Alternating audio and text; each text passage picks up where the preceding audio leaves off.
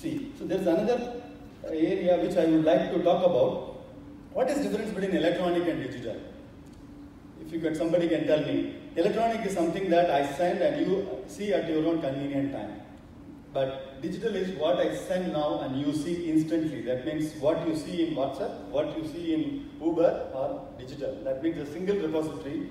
The information is live and it is same and information is Um, across the system, across the platform, everybody can consume the same information. It can be in digital boarding pass, it can be in an automotive industry line. If you look at it from an electronic communication in an automotive industry, which, which can be an OEM driven or it can be an, a kind of a, a function driven in, in an introspect way or an outside purview of an organization. Within a company, if there is a communication going to be disconnected at, at it is taking place at a time interval what is convenient to the stakeholders, you tend to lose the time dimension. So there can be a possibility that it can miss the uh, importance of it. So the world is moving towards how I can make the entire communication, it is digital and it is instantaneous to all the stakeholders. So this is a kind of a dream for many companies, whether it is a kind of a small and MSME or whether it is an OEM.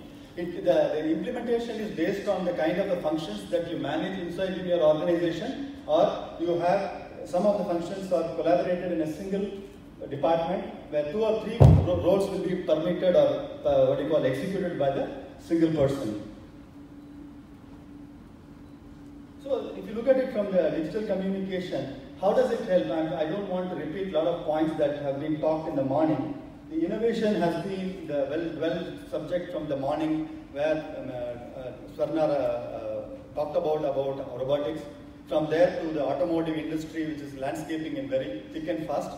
Some of the people talked about IoT, some of the people talked about Industry 4.0. So all this landscaping is about need of the hour based on the industry maturity or the market maturity or the product need. So it can get classified according to the need. Some companies, they need to innovate now. Some companies are waiting to innovate at a later stage. It can be at that stage. So it depends on the kind of the wave. Uh, my previous speaker talked about the wave, whether I should ride the wave now or I should wait and I will be a laggard or I will be a guy who will be leading the wave. It just depends on the risk appetite of the OEM or the risk appetite of the MSME or risk appetite of the auto, what do you call the component manufacturers companies. So the, there is every technology that is available. Riding the wave or leaving the wave is the discretion of the many of the industries today. That's the kind of the point that I would like to drive here. Collaboration, contributors and accessibility. This is well again talked about. Uh, collaboration, where I, way back in 1980s when I started my career, I never had an opportunity to go to any suppliers. I, have, I worked on OEM, I was only inside the OEM. But today, you see the communication, I stand in front of Maruti Gate, the amount of visitors they visit inside Maruti Gate is more than uh, the hospital, the people visit Apollo Hospital. That's the kind of uh, communication I could see inside the gates of the thing. The gate pass is such a difficult process in Maruti. So you can see that communication between the supplier, the OEM, is no more called in isolation. It is coexist and it is happening in terms of collaboration and it is co-contribution. Accessibility, uh, we talked about digital communication. Now the OEM is talking to the suppliers in a, in a digital platform. The previous speaker talked about data available in your system is no good if it is not shared. The knowledge that is there in my mind, as long as it is not permitted or allowed to share, it remains and it does. It, it, is, it, natural depth from here. It doesn't get permeability to the outside system. So it needs to get permitted, which means you need to have a business platform as an integral part of your business by which you are able to take all your suppliers and collaborators into the business. So this is a simple thing, which was the earlier slide. Only one cycle made, everybody has to consume. People are now looking at going modular. Market for one, each one has a different kinds of an expectation. Yeah, women looking at different, kids looking at it different, elders looking at it different. So going modular is one of the few thought process which has been already adapted in the industry, which is also a driving factor for many of the auto suppliers to look forward how they can contribute as a modular system by which they can contribute to many OEMs rather than supplying to only one, one OEM. So they, they de-risk their uh, what you call demand supply based on contributing to the many OEM. So I just look at it from a modularization. I think many people talked about modularization in the morning. It can be in many ways. So if you look at it, some of the industries can be fine modularization, it can be based on the variants, based on what factors you want to change, whether you want to do hatchback model or a, whether you want to have an electric mobility or whether you want to have a five-seater model or a, a, what you call the three-seater model in the back additional you wanted to add. So basically you create modularization, number of variants based on modularization that you create in your product design. What are all the rapid OEM, which I think I don't want to talk about, uh, uh, engine, engine to electric vehicle. Infotainment is one of the things which is a personal choice of many people. Airbag is a mandatory criteria. It was a luxury in some of the cars earlier. Now it is a default advertisement that you get. Every car has an airbag today. So then you have connectivity. Connected cars is a very good thing which is going to happen. I think most of the, uh, what do you call, the car manufacturers and car dealers are talking about how to get the connected car to the service network to offer a very upfront communication to the consumer when to bring the car to my service center and how I can be upfront, uh, prompt you to come to my centers. There are certain things which are uh, functionalities which companies are looking at. Fuel economy is Indian mindset is clear whatever functionality you give, we'll ask you, will it give an economy of fuel? Even the morning uh, secretary talked about his car comparison between a previous car which he had and the car which he has now. So Indian mentality is not going to change from the fuel economy perspective. So autonomy, uh, automatic, automatic transmission coming from Bangalore, my leg is paining and every day if I drive, we measure not kilometers, we drive, drive between a point A to point B by hours, not by distance in kilometers. We never talk about kilometers. So that is where the automatic transmission has become a mandatory factor in many cities. There's a lot of paradigm changing there. Seatbelt is once upon a time luxury, but it is a mandatory now. Cost was a, a lot of people talked about the previous slide. People talked about it. Real cost of owning the cost is not by the time of buying, but post maintenance of the car. How does it help me to compress the cost on a total life cycle which I maintain? So after sales, I think a lot of people talk about diagnostics, how to bring it to the shop floor. So this is one of the need of the OEM, how they are working on the landscape.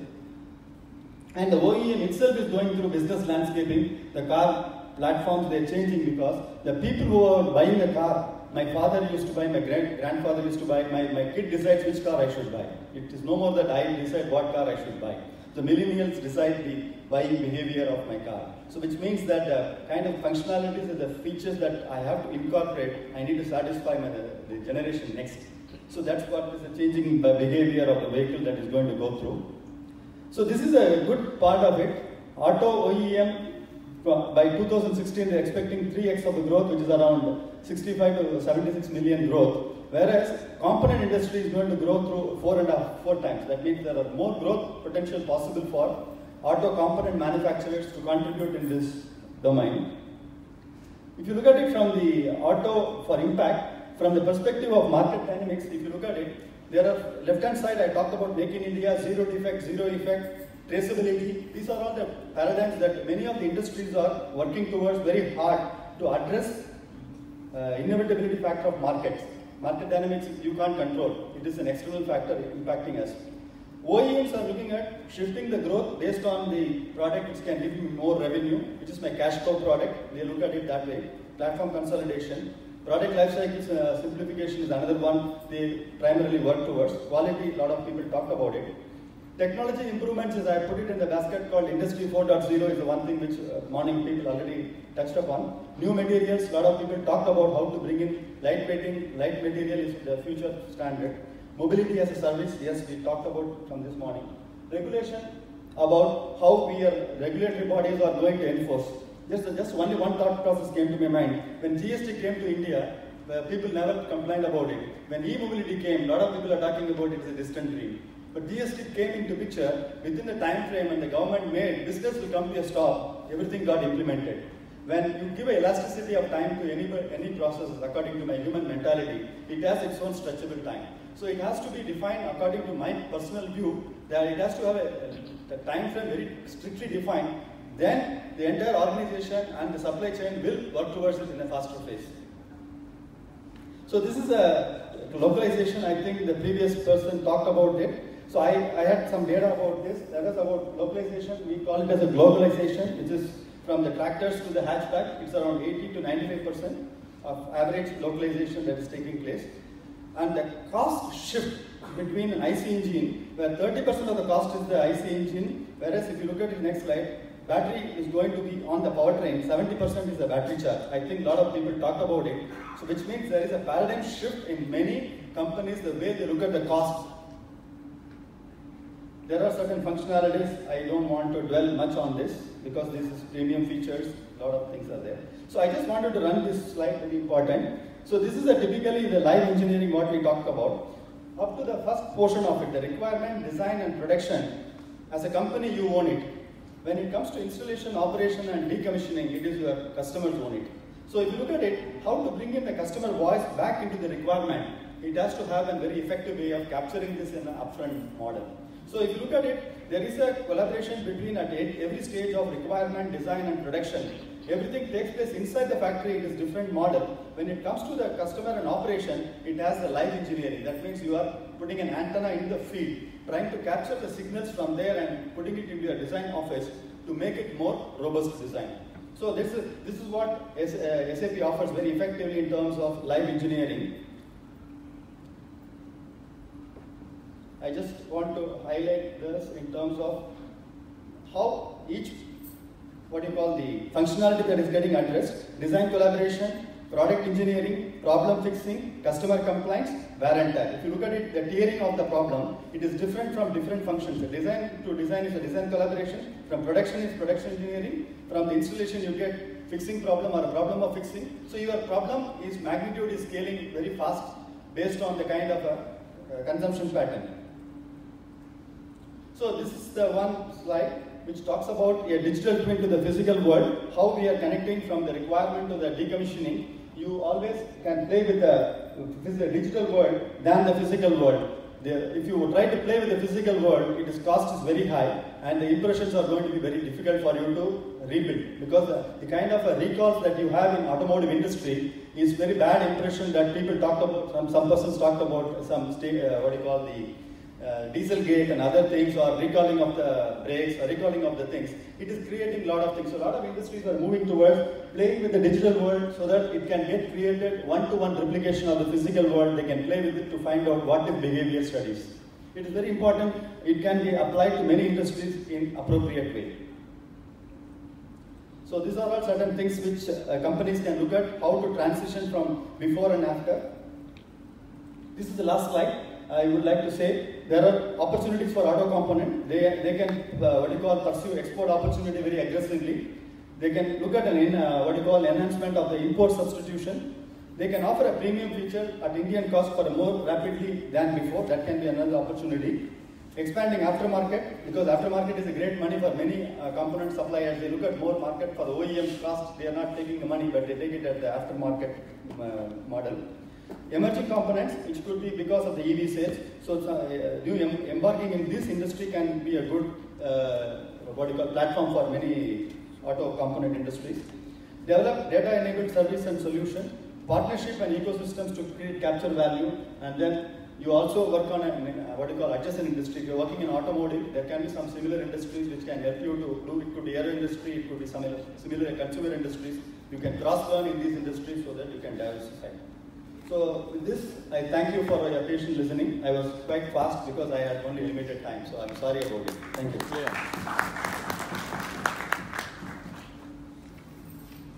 Thank you, Mr. Karthikeyan Varadarajan, for uh, highlighting the various expectations of the consumers and the need for OEM to meet those expectations to maintain and sustain their business.